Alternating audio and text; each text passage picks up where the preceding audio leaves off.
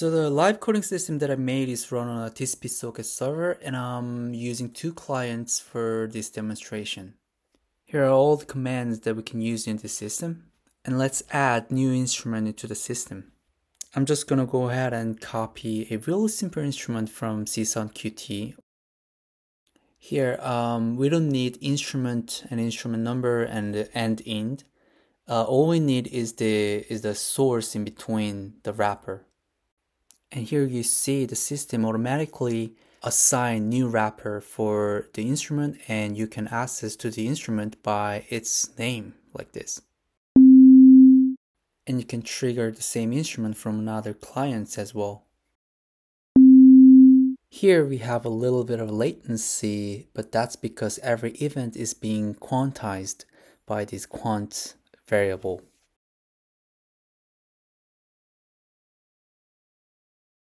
Here is the implementation for the event queue.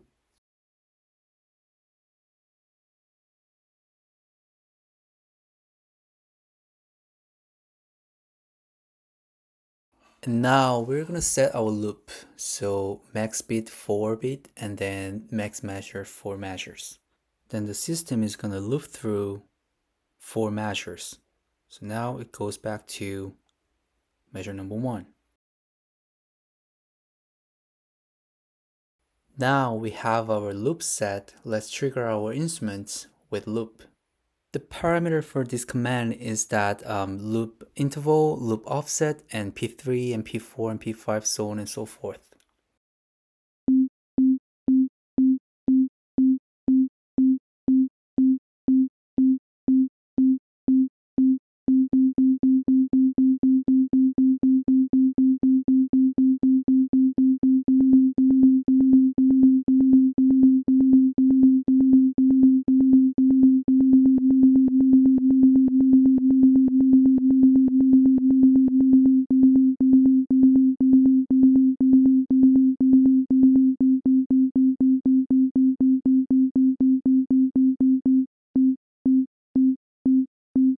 Of course, we can just set the interval of the loop into 16th note to have the same result.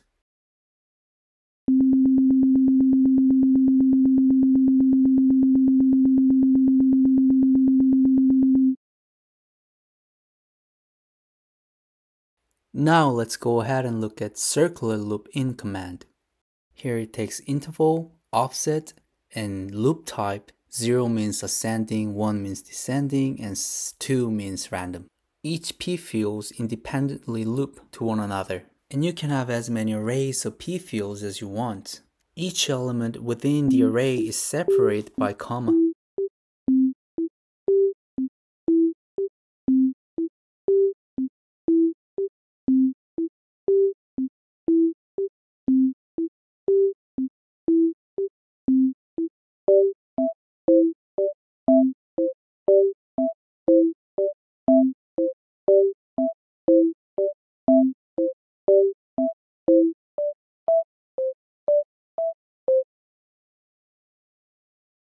Now we're going to look at my favorite command, which is circular loop binding.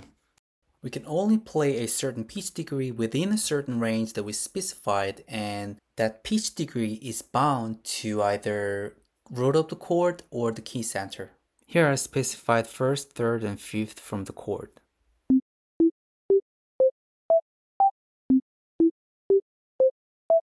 And now if I change the chord from the loop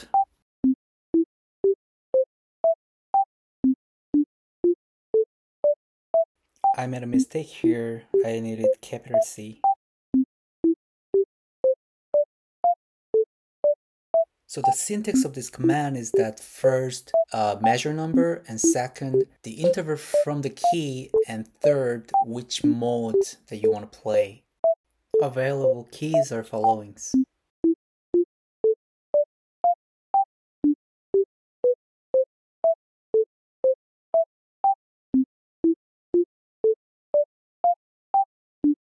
To better hear the chord progression, let me add the bass note.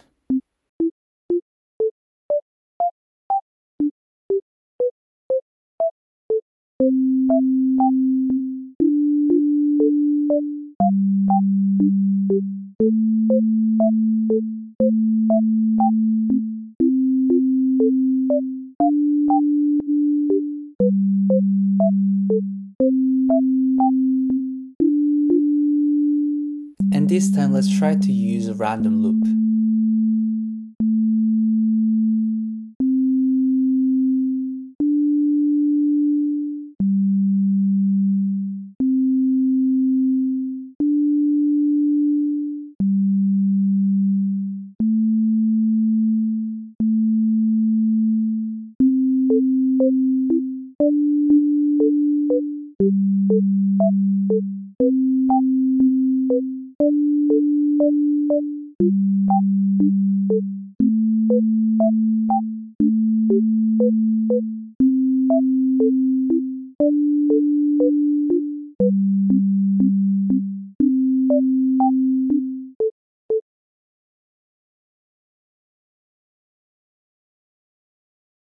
Another application for this command is, um, is to play the chord.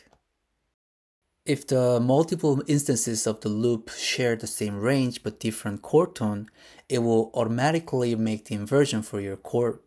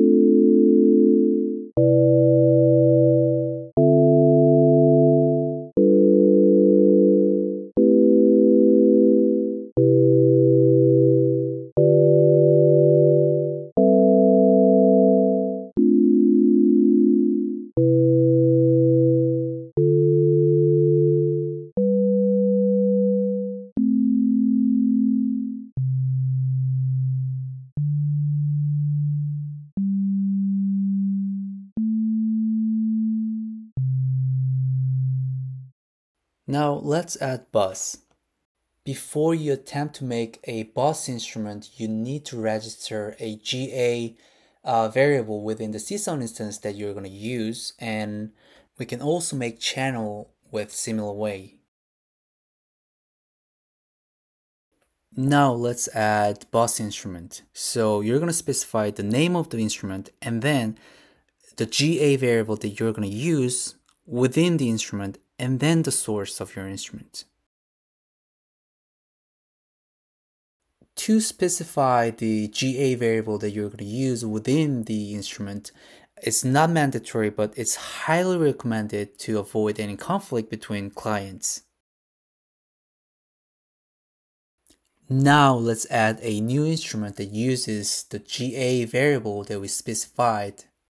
Of course, other instruments can use this GA variable as an output, but you need to have only one instrument that uses this GA variable as an input.